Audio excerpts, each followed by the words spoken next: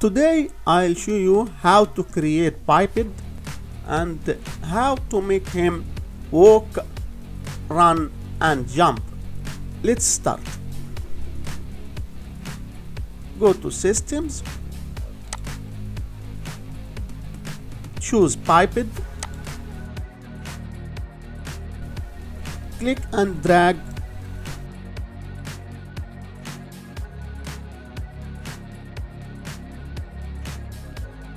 I create my biped.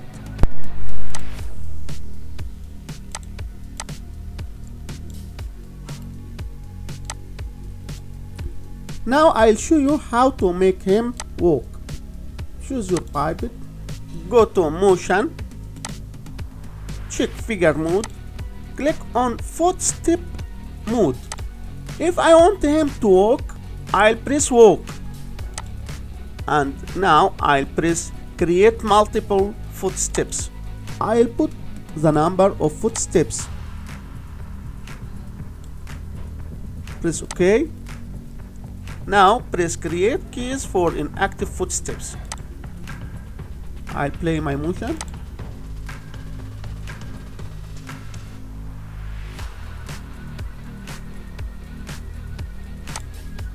Now I'll make him to run. Instead of pressing walk, press run. The same.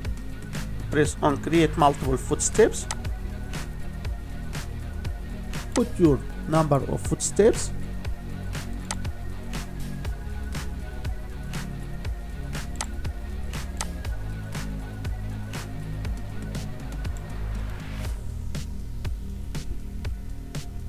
Press on create case for inactive footstep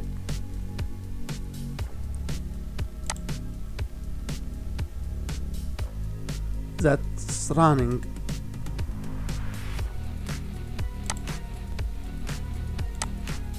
If I want to make him jump press on jump icon and press on create multiple footsteps. Choose of jumping number press ok.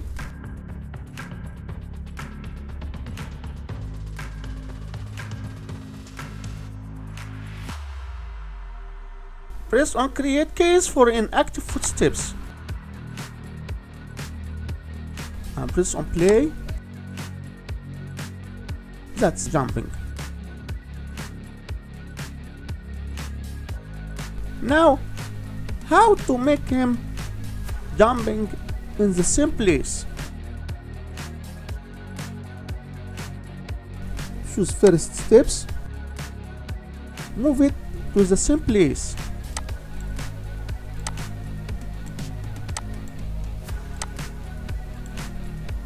Display